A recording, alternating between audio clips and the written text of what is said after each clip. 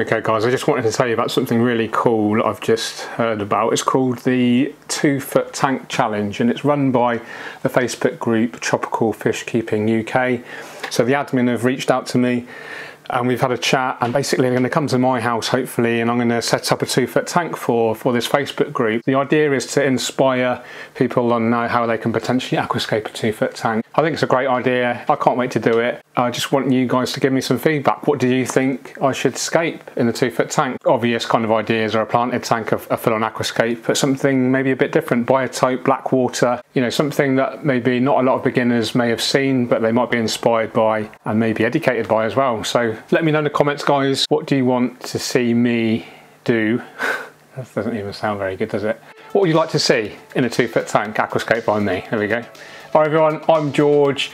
This is my Aquascaper 1200 that I've neglected again uh, for the last, I don't really want to say, and today's maintenance day and I want to really give you a deep dive into the maintenance process, explain exactly what I'm doing, why I'm doing it, and hopefully you'll take away a load of tips and tricks for your own aquascapes at home. So I hope you're enjoying the video. If you do, please give me a thumbs up, subscribe if you haven't already. So a little bit of background into this aquascape. I set it up almost 10 months ago now. There's a whole playlist dedicated to this aquascape, so do consider binge watching if that's the sort of thing you're into. And it's deliberately designed to be a low maintenance and long-term aquascape. So I've used slow growing plants. We've got cryptocoryne, mosses, ferns, Got some uh, tropical lily in there. Uh, Bucephalandra, Anubias, you know, all the classics that I really love, and I love them for a reason because they are low maintenance. And when I'm running for nearly what kind of five aquascapes running now at home so it's important that they are low maintenance because I do spend a lot of time uh, maintaining other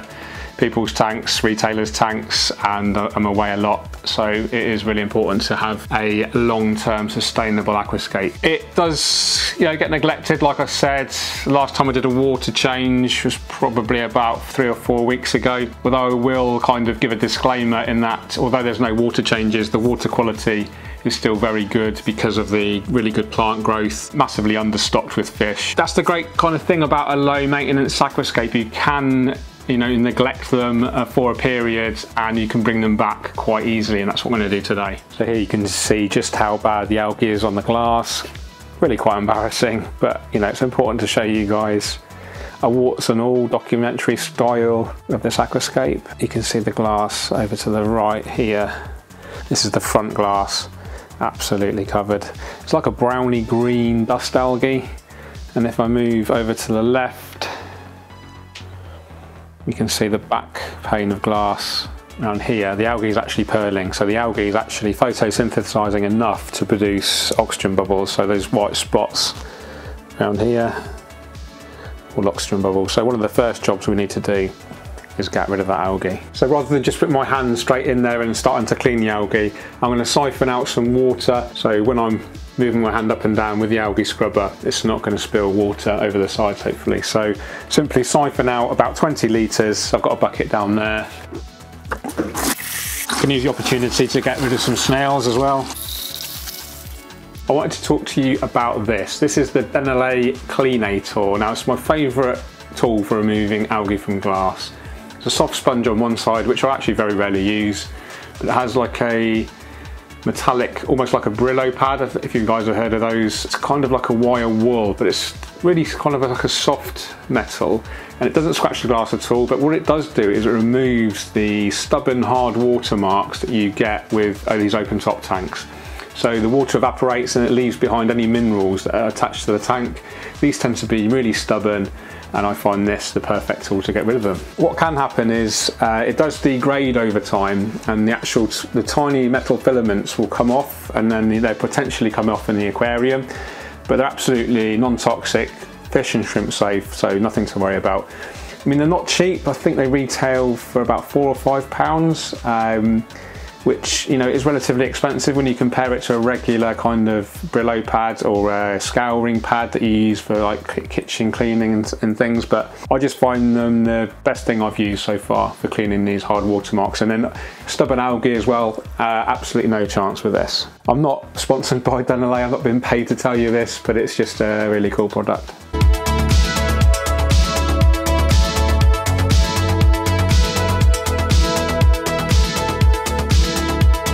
like to do now, just to make sure the glass is completely free from algae, is just look along the glass and line, line your eyes up exactly with the edge and then you can really notice any build-up of algae that way and then just repeat with the other panes of glass. So look down there and then look down here and then finally the back glass as well and that's fairly clear. There is a bit of an algae build-up around the bottom, around the substrate, but I'll show you how to deal with that in a moment. So really good tool to use is a credit card type device, not device is it, just a credit card type thing.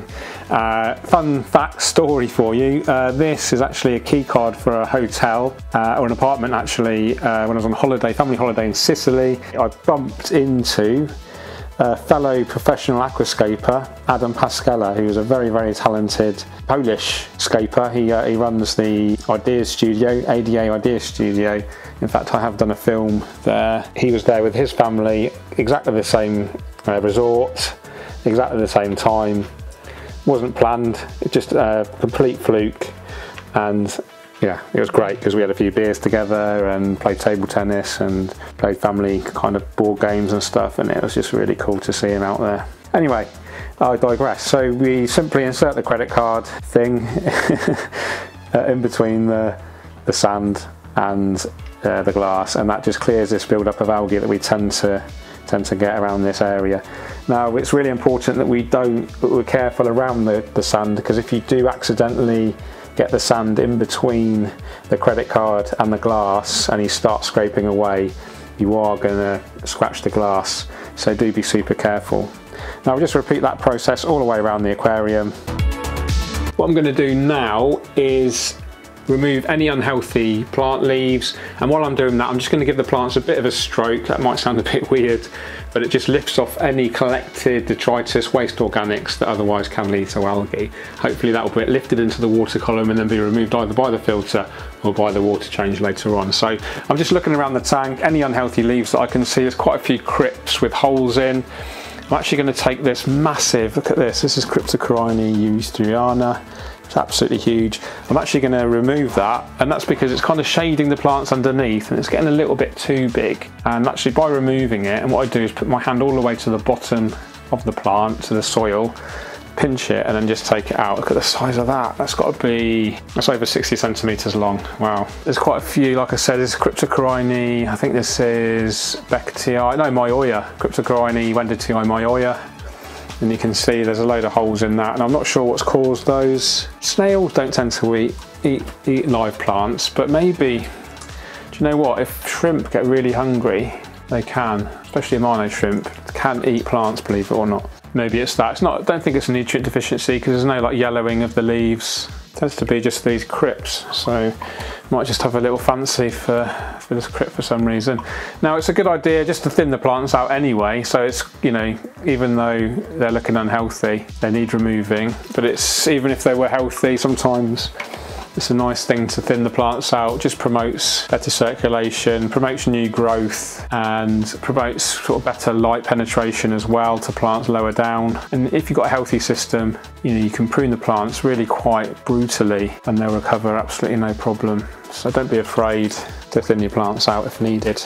Now it's a case of looking after the substrate. So we've got a few options. The first one is to just give it a rake and that will dislodge a load of the collected organics lift them into the water column and then we get rid of them with water change. The other option is to completely replace it. So this, uh, I'm talking about the cosmetic substrate here, which serves, the only purpose is, is cosmetic. There's no plant growth in there. What we can do is actually replace it. It's fairly cheap. There's only probably three kilos in here um, which probably is, is only going to cost a few pounds, a few dollars. So we could actually get rid of it all, replace it with brand new, or, which is probably what I'm going to do now, is just siphon off the top layer, and then if we need to, we can replace with a sprinkle of new substrate on top.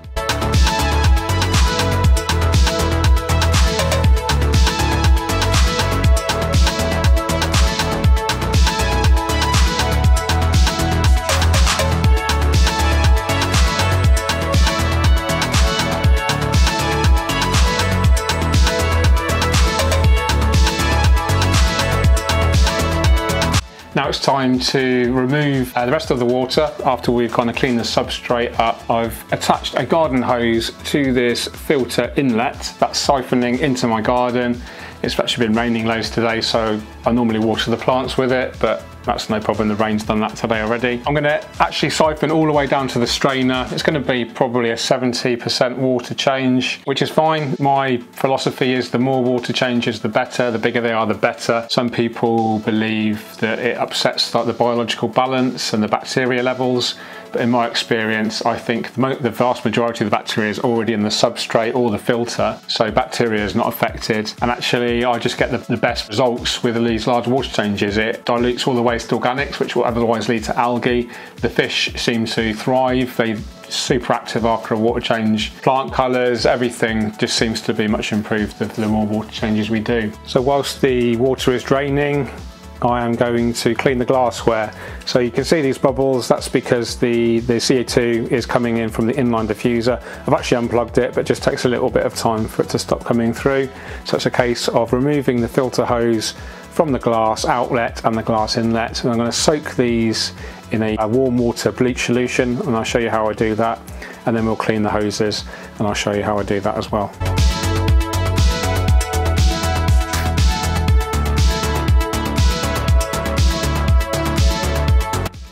When the plants are exposed to the air during these big water changes, they can dry out. So it's really important that we use a mister to stop the plants from potentially being damaged by them drying out. Microsorum is particularly prone to drying out uh, and getting damaged. Bolbitis and Echinodorus as well are ones you really need to look out for. But it's just a good practice to keep all the plants wet like this.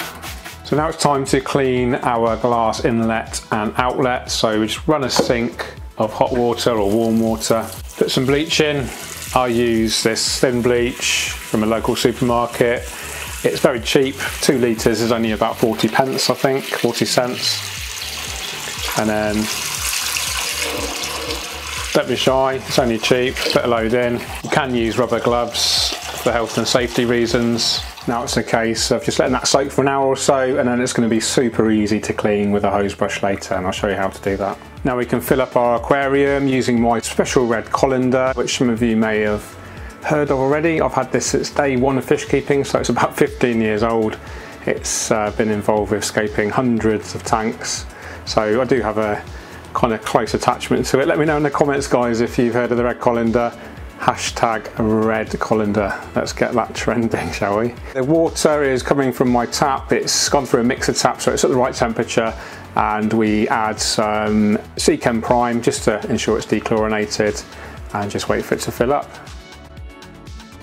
Now it's time to clean the glass. So take your plug hole out, give your hand a rinse because it's just been in a bleach solution. You can wear rubber gloves in fact, I'd recommend wearing rubber gloves.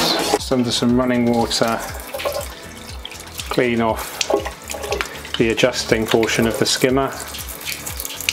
So this is the bit that spins around, you can rotate around to adjust the rate at which the water gets either taken in through the skimming portion at the top or through the inlet strainer at the bottom. There is a video on exactly how the aquascaper glass pipe work set works. Now I'll clean the actual floating portion.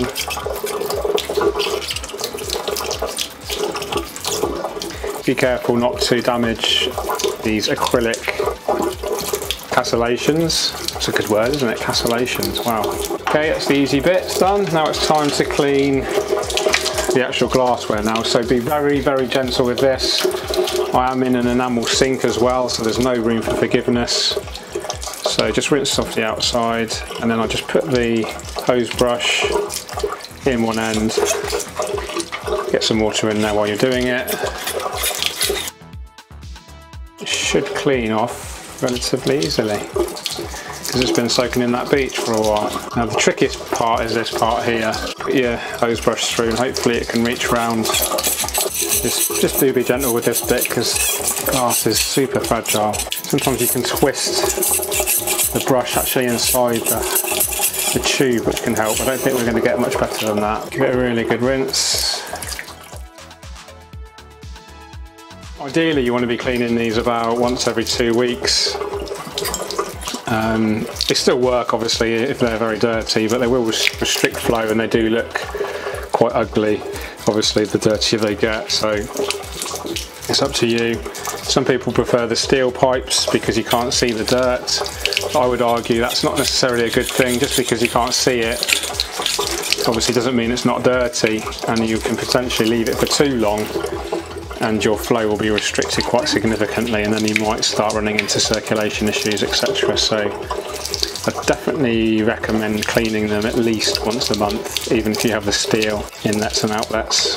Same with plastic guys, if you've got plastic the old sort of style that comes supplied with most filters do keep them clean just to maintain these high circulation levels if possible. Circulation is really important in a planted aquarium. Plants can't move so you have to move the water appropriately. Okay, I think we're there. Next is a bit more complicated. So we're going to clean the filter hoses. This is the filter inlet hose, which I've already taken off the filter and the glassware. And then this is the outlet. So we have the inline heater here. This is a Hydor ETH300 and that goes through some more hose and then into the inline CO2 diffuser. So I need to dismantle all of this and then clean them all with the hose brush.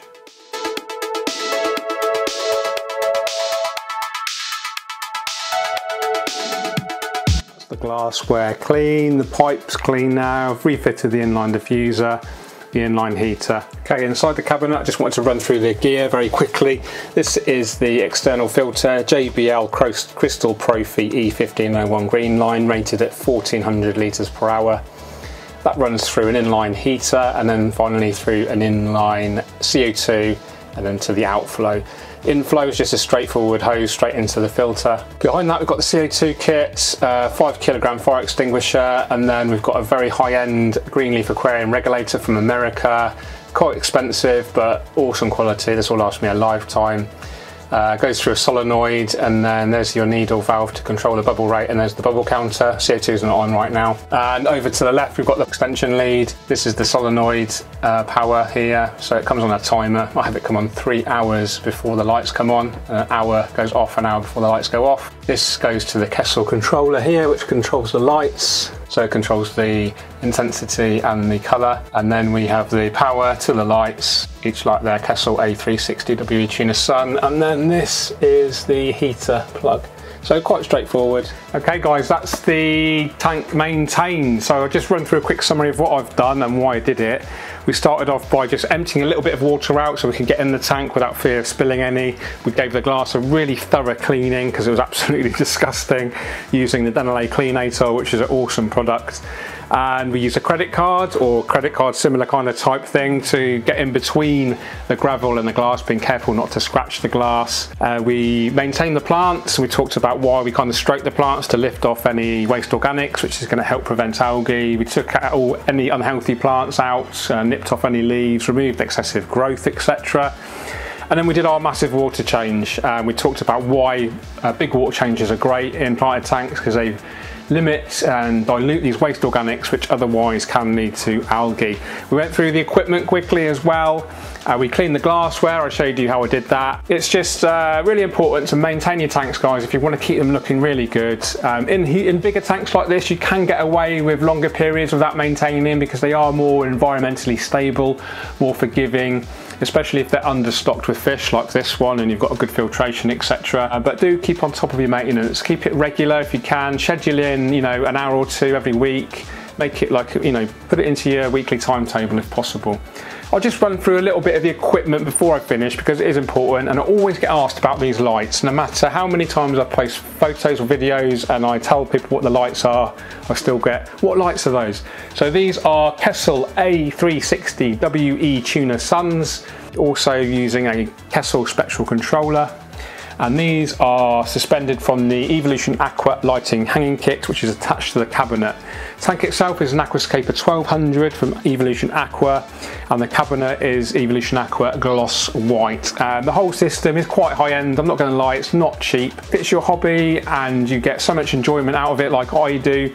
Then it's worthwhile investing, you know, appropriately. You know, you can achieve really great results as well without spending a lot of money, and that's why I've done this budget aquascaping playlist, which I'll, I'll leave a link up there right now. I think it's there or there, I can never get it right. I think it's there. So take a look at that if you are on a limited budget. And I do have some um, exciting news coming soon about budget aquascaping as well. And don't forget to uh, let me know in the comments what you want to see me scape in this two foot tank challenge as well, which I talked about right at the beginning of the video.